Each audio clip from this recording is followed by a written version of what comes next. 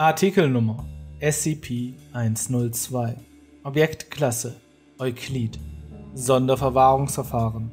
SCP-102 befindet sich derzeit im Besitz von Marshall Carter und Dark Limited.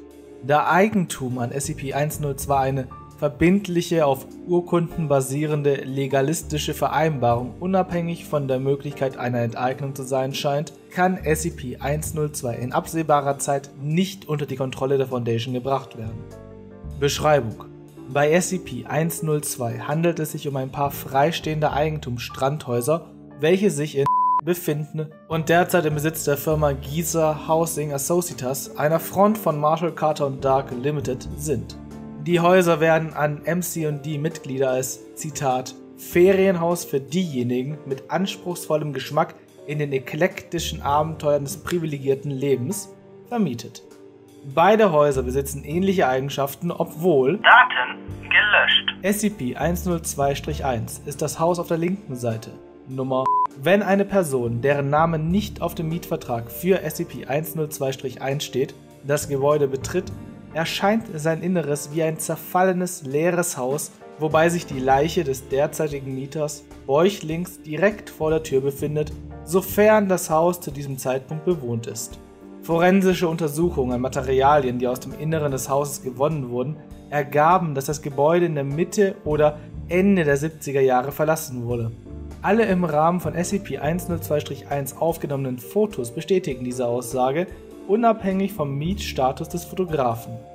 Wenn jedoch der Pächter des Hauses durch die Haustür eintritt, befindet er sich in einer ziemlich normalen und gepflegten Eigentumswohnung mit einem nautischen Stil.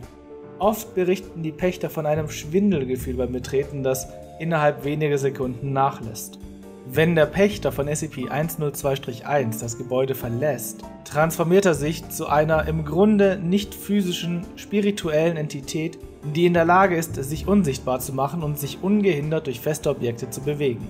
Sie wechseln und verbleiben in diesem Zustand immer dann, wenn sie das Haus innerhalb der Dauer ihrer wenn sie das Haus wenn sie das Haus innerhalb der Dauer ihres Mietvertrags verlassen. Nach Ende des Vertrags oder zu jedem Zeitpunkt, an dem vorsätzlich gegen die Bedingungen des Mietvertrags verstoßen wird, fallen die Betroffenen kurz in Ohnmacht und finden sich am Eingang von SCP-102-1 wieder, welcher ihnen wie jedem Nichtpächter erscheint.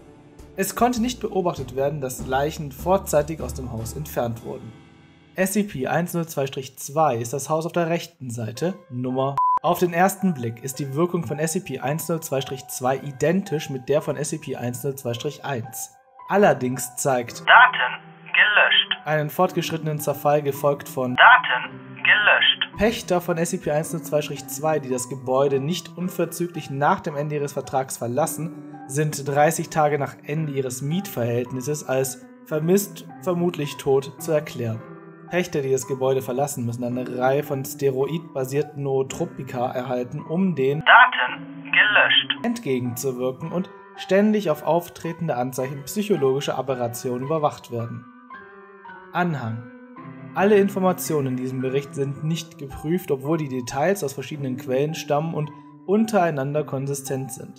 Der Inhalt dieses Berichts stammt aus Befragungen der D-Klasse-Mitarbeiter mit Personalnummern 1070869, Todesurteil Vergewaltigung Mord, 1033654, lebenslänglich ohne Bewährung, schwerer sexueller Übergriff auf Minderjährige und 3370633, Todesurteil Redigiert. die alle vor der Inhaftierung Stammmieter von SCP-102-1 waren. Es wird angenommen, dass D1033654 den Effekt von SCP-102-1 genutzt hat, um Daten gelöscht. zu begehen. Siehe Befragungsprotokolle 102-1, 2, 3 für die vollständigen Transkripte.